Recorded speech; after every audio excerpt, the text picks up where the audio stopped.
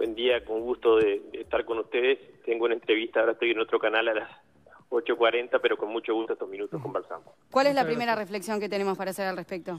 Que es un hecho grave, sin ninguna duda, que tenemos que todos eh, ser contestes en que hay que ir eh, a averiguar los hechos hasta las últimas consecuencias. Eso yo creo que eh, somos todos coincidentes y naturalmente yo soy de los legisladores que eh, tengo plena confianza en el presidente de la República.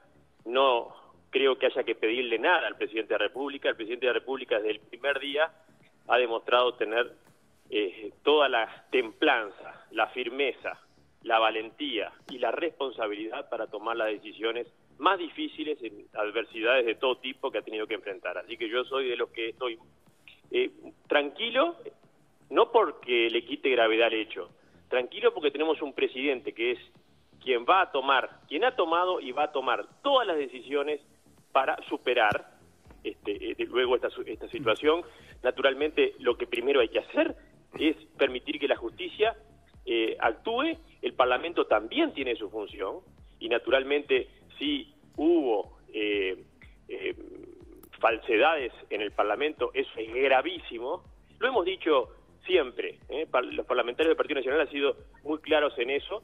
Y bueno, eh, yo creo que la institucionalidad está absolutamente vital y sana. Goñi, eh, usted empezaba hablando del presidente en, en, las comunicaciones que existen entre las BLUF y H, en el propio chat, y eso sí fue presentado, eh, las BLUF habla de que la reunión en la cual, para la cual se la convoca a Torre Ejecutiva a H es eh, a pedido del presidente de la República, es en esa reunión que se le pide que borre eh, los chats con, Maciel y que entregue de nuevo eh, un documento protocolizado por escribano y luego cuando H le dice que no va a hacer eso, la FLUF le pide un tiempo para hablar con el presidente de la República, eso según la versión de H. ¿Usted entiende que eso fue a título personal de, de la FLUF? Bueno, yo entiendo y cualquier persona honesta este, tiene que entender lo que dice esos audios, en caso de que sean naturalmente eh, veraces. Es la, lo que está diciendo la FLU. Es decir, lo que dice la FLU.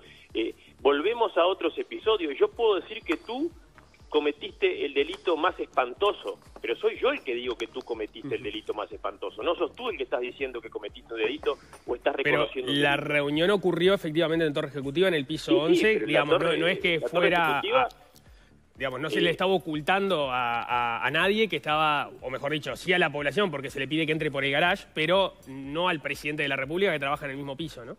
Bueno, yo no tengo ningún elemento, y más bien tengo todos los elementos de que el presidente eh, no estaba informado de lo que allí la FLU plantea.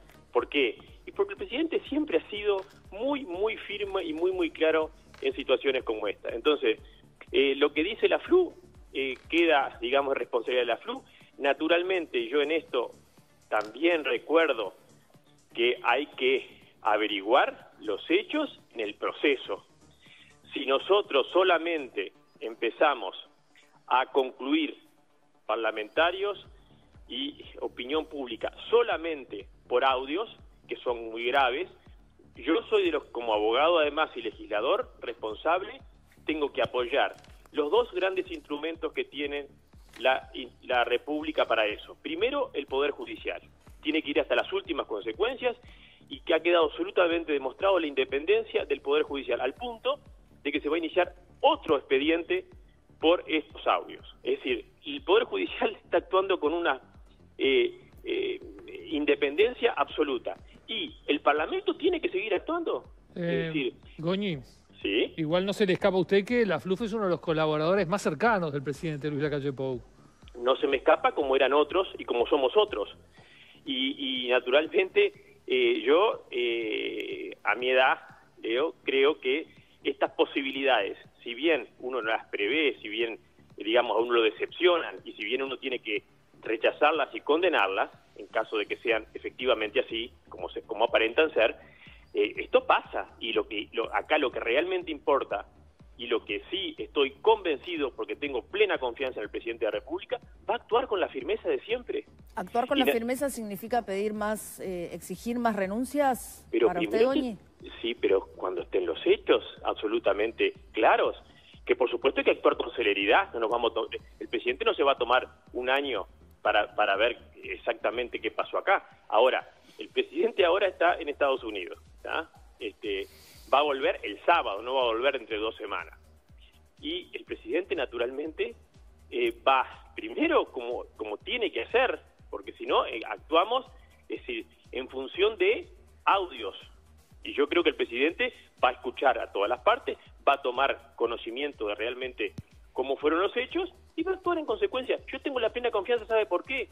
Porque la trayectoria del presidente me permite a mí seguir confiando en que va a tomar las decisiones que se necesitan tomar. En este Pero su tesis es que el presidente de la República, Luis Lacalle Pou, no estaba al tanto de esta situación, a pesar de que la FLUF, un hombre de su confianza y asesor de él en términos de comunicación, no le trasladó ninguno de los intercambios que acabamos de comentar.